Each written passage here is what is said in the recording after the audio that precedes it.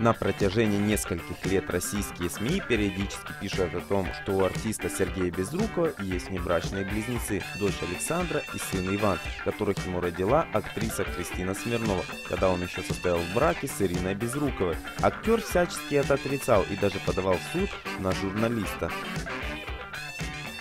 Недавно Сергей Безруков впервые в общении с корреспондентами заговорил о своих небрачных детях.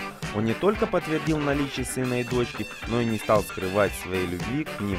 В интервью он признался, что у него есть небрачные дети, с которыми он поддерживает довольно теплые отношения и намерен дальше поддерживать своих отпрысков. Стоит отметить, что у матери близнецов Сергей говорит от Родители Сергея Безрукова узнали о своих двух подрастающих внуках только пару лет назад. Бабушка и дедушка участвуют в воспитании малышей. Весной текущего года счастливого дедушку заметили на прогулке с трехлетним внуком Ваней. Наблюдая за малышом, Виталий Безруков постоянно улыбался, трогательно усаживал кроху на карусели и качели.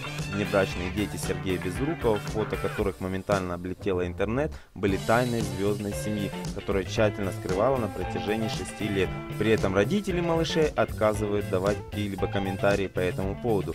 Кристина со своими двумя малышами проживает в городе Санкт-Петербург. Сегодня мама Александра и Ивана работает в одном из городских медицинских учреждений. Все свободное время девушки занято исключительно детьми.